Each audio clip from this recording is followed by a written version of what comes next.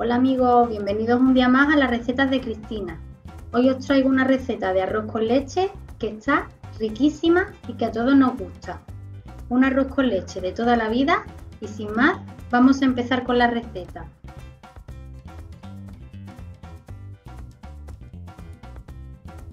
Los ingredientes que vamos a utilizar para hacer el arroz con leche son un litro de leche, arroz, azúcar, una rama de canela y canela molida. Y bien, lo primero que voy a hacer es utilizar el medidor porque yo voy a hacer dos tazas de arroz con leche. Entonces por cada taza son 100 gramos y yo voy a gastar 200 para hacer dos tazas.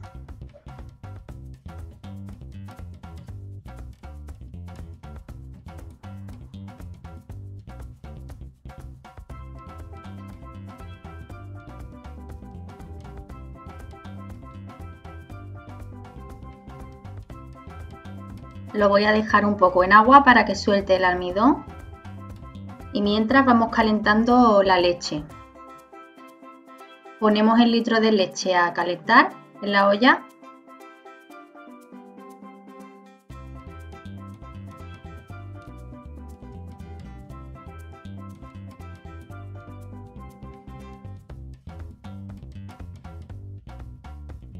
Y le ponemos la canela, una ramita de canela.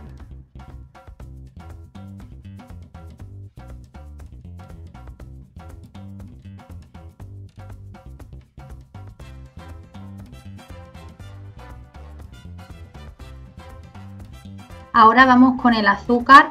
Como son 200 gramos de arroz, pues vamos a ponerle 100 gramos de azúcar, 50 por taza.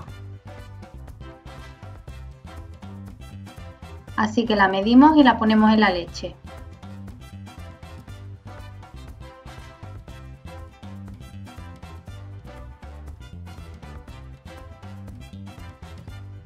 Añadimos el azúcar movemos un poquito, que vaya calentándose. Y tenemos cuidado que no se nos vaya a quemar la leche al fuego. Movemos y que vaya calentando.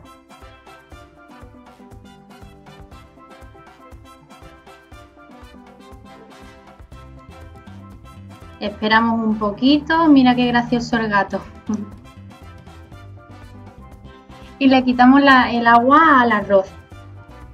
Le quitamos el agua con el almidón que ha quedado y esto hace que se cocine mucho antes el arroz y que no quede tan apelmazado.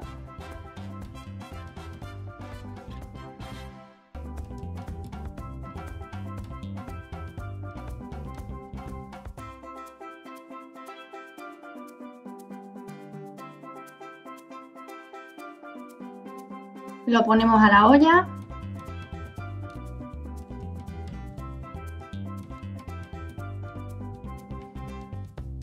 Y esto tenemos que ir controlando que la leche no suba, lo tenemos a un fuego flojito y si vemos que sube pues lo bajamos y si vemos que no pues lo subimos, así tenemos que ir controlándolo hasta que se cocine y que se seque un poco la leche.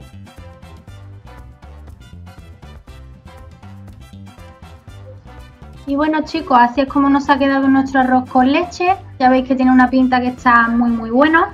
La siguiente receta haré un arroz con leche cremoso, ya que este no es cremoso, pero sí está muy bueno.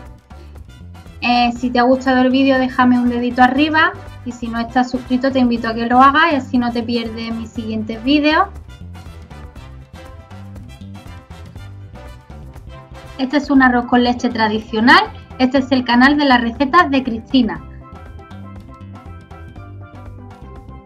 Suscríbete al canal si, si aún no lo has hecho y puedes dejar abajo cualquier pregunta o duda que tengas. Nos vemos en el siguiente vídeo. Un saludo y hasta la próxima.